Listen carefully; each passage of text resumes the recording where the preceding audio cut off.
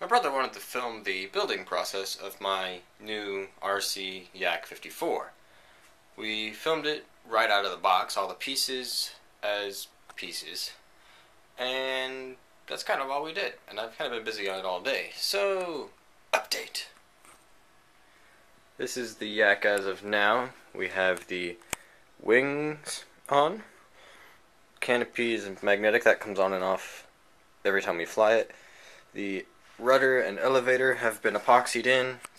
All the servos have been done, connected. The rudder has been connected, tail wheels done, and the servos where there.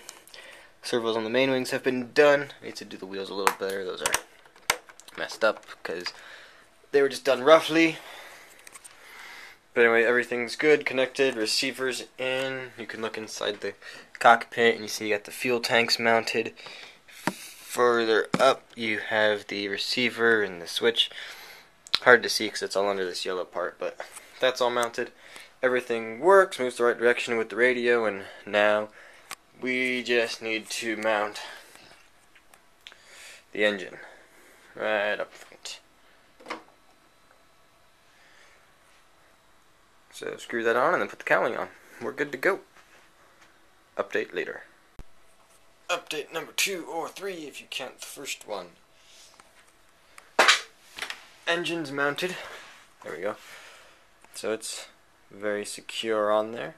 Fuel lines running to it for the fuel in, but no uh, exhaust pressure because I didn't put the muffler on yet. And it's done. There's four bolts on the bottom, and then I also CA'd around them so the wood would be nice and hard.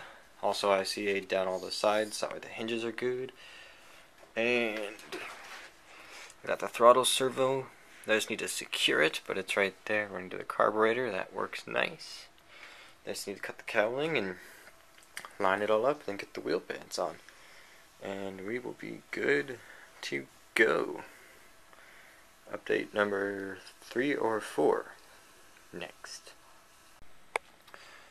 The engine cowling is on, it's all screwed in, fuel line's good to go, and the servo text or servo test and endpoint adjustment has been completed.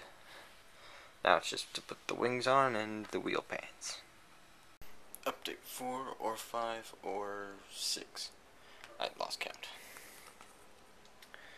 Finished airplane. Finally finished building it. Sorry about that.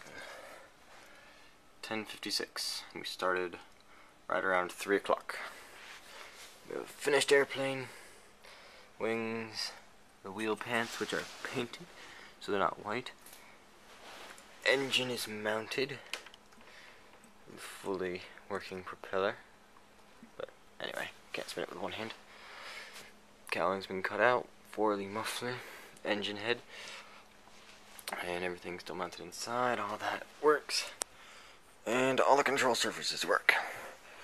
Which is actually pretty cool. Radio.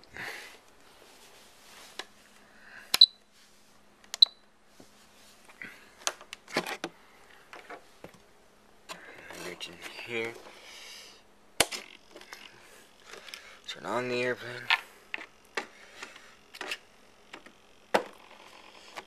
Alright, now that's on.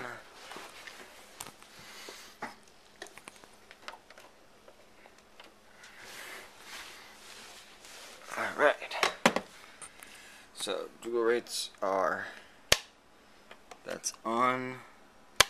So we're in the low rates. And let's see. Elevator. Aileron. Rudder. You can see the controller.